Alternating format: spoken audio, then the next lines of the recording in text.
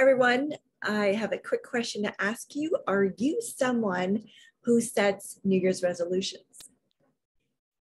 How have they worked for you?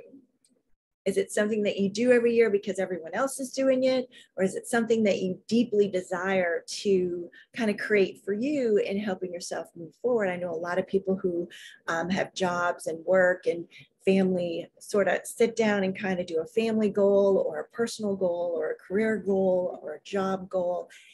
And I just wanted to ask you some questions. So, give you a little bit of feedback. Did you know that over 4,000 years ago, it was the Babylonians who were the first ones who created New Year's resolutions? They actually made promises to their gods that they were going to go ahead and pay their debts and give back everything that they had borrowed, looking for favor for the next year. However, those promises didn't actually pay off. The Babylonians, even though it was 4,000 years ago and it's a tradition that we still have today, uh, they were actually conquered by the Persians within 100 years. So they didn't even make it a century. Um, I, I, just think that's so interesting. So I'd love to invite you to join the resolution revolution. and I'll tell you why that is. So do you know that 8%, not 88, 8% of people who set New Year's resolutions actually keep them the entire year? I hadn't realized it was that low. And 80% of people who set New Year's resolutions don't actually complete them after the first 30 days. So that was incredibly interesting for me to find out. So I really, really had the desire to know more about why that is and how that is. And so I discovered a clinical psychologist who did a lot of research on this. His name is Joseph Luciani. And he says that most resolutions fail because people self sabotage themselves by having a lack of self discipline. So, self sabotage and lack of self discipline. I thought that was pretty interesting. I don't know if you consider that to be one of your strong suits. Um, but then I discovered a study that was done in 2020, um, and they polled participants, and 47% of the participants that took the survey said that they failed because they had created and set avoidance oriented resolutions.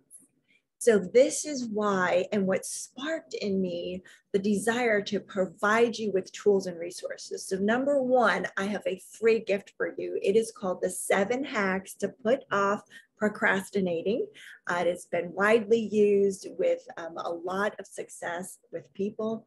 And that is something that I just wanted you to have right away. Um, so, you're going to get that immediately. The second thing uh, that I felt drawn to with my heart was to create something that had a lot more meaning in it. I know with resolutions, we sort of go down the money, love, you know, weight, lose weight, gain weight, uh, you know, joy, career, you know, that kind of aspect with things.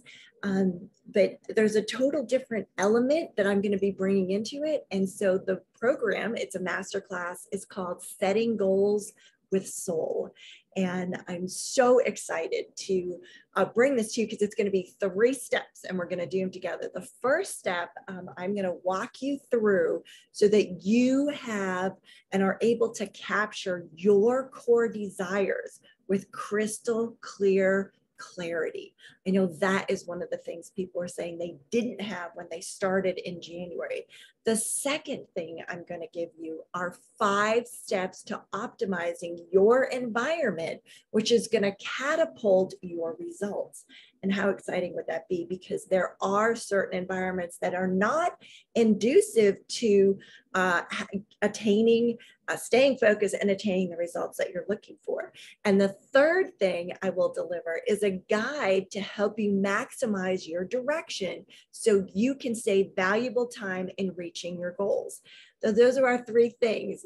You're going to get crystal clear clarity. I'm going to give you um, five ways to optimize your environment because I am so looking forward to you catapulting your results. And then number three is to give you the tools to save valuable time in reaching your goals.